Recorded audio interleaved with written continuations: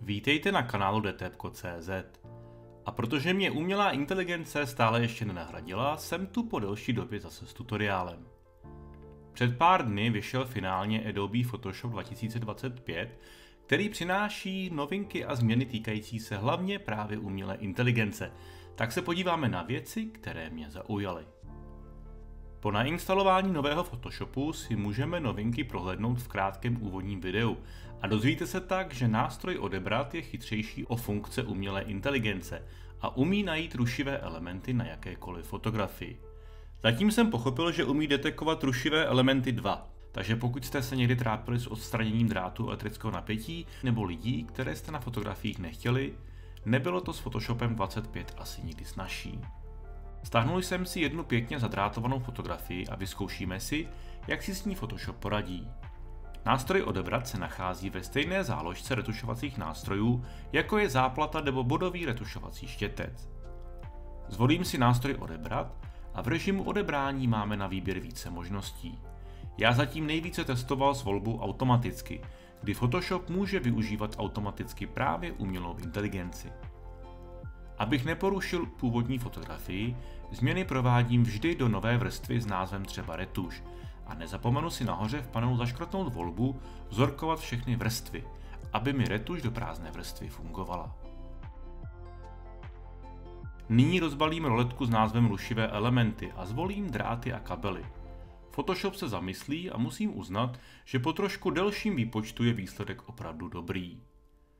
Protože jsem si retuš provedl samostatné vrstvě a zachovala se mi tak původní fotografie, mohu této vrstvě přidat masku a části, které z fotografie odebrat nechci, mohu v masce odmazat. Trošku mě zklamalo, že například u fotografie, kde je plot, což chápu, že není drát elektrického napětí, si to s drátěným plotem neporadilo skoro vůbec, takže bych do budoucna uvítal, aby detekce rušivých elementů byla ještě rozšířena a třeba tento plot nebo odpadky na zemi by byly v nabídce automatického odstranění také. Stejně tak dobře umí nástroj s názvem odebrat odstranit i lidi v pozadí. A Photoshop detekoval lidi na fotkách i v místech, kde jsem já skoro neviděl, že tam nějaké postavy ve stínu třeba jsou. Takže pokud máte ve fotografii lidi nebo dráty, nebo ideálně obojí, máte to skoro bez práce. Pokud máte na fotografii k odstranění něco dalšího, nevyhnete se manuálnímu označení štětcem.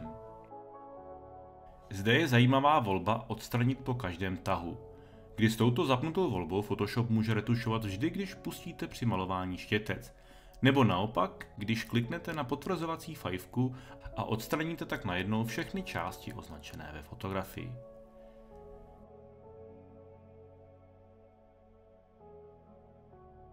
Další skvělou funkcí je odstranění i generování pozadí.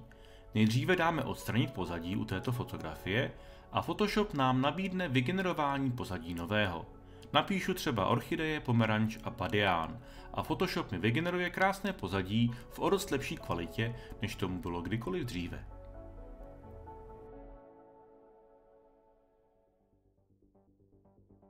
Další funkcí, která stojí za zmínku, je funkce generovat podobné. Na tomto talířku dám vygenerovat víno a pokud mi výsledek z žádných variant nevyhovuje, mohu dát z kontextového panelu volbu generovat podobné a mám za chvilečku další tři varianty, ze kterých mohu vybírat. Zase o něco lépe funguje rozšiřování fotografií pomocí nástroje oříznutí a generování pozadí. Pokud potřebuju nějakou fotografii rozšířit, je to velice snadné. Zvolím nástroj ořez a v horní části si přepnu výplň na generativní rozšíření. Photoshop automaticky dokreslí rozšířenou a chybějící část fotografie a musím uznat, že zase v lepší kvalitě, než tomu bylo v předchozích verzích Photoshopu. Celkově je znát, že Photoshop 2025 začal využívat pro umělou inteligenci novou verzi Firefly 3.0. Generování je daleko ostřejší a použitelnější stále více pro větší fotografie. I generování čehokoliv, když začínáme s prázdnou fotografií, se zlepšilo, ale generování lidí je stále velice špatné a vznikají pořád i takto nepovedené fotografie. Celkově však musím uznat, že změny Photoshopu 2025 mě i vám zase zkrátí čas, který budeme potřebovat pro finální doladění nebo doretušování jakékoliv fotografie. Manuální úpravy barev nebo dokonalejší detailní retuš například obličeje v lepším rozlišení umělá inteligence zatím stále nenahradí. To je z přehledu novinek zatím vše. Pro ty z vás, kteří jste mi psali, že jsem tutoriály přestal dělat, doufám, že je dnešní video důkazem, že tomu tak zatím není. Najdete mě teď více třeba na Patreonu detepko.cz a více se také věnuji online kurzům pro Photoshop. Pokud vyjde nějaká zajímavá změna ve Photoshopu, která si zaslouží český tutoriál, najdete ho právě na tomto kanálu. Budu rád, když přijdete na Patreon, klidně jako free uživatel, a budete se účastnit streamů, které pořádám každou první středu v měsíci, když houkají sirény od 8 hodin večer. To je pro dnešek všechno, budu rád za like, komentář, odběr, nebo když budete toto video sdílet s přáteli, kteří se zajímají o Photoshop, mějte se hezky a budu se těšit u dalších tutoriálů, livestreamů nebo kurzů na detepko.cz opět. Naschledanou.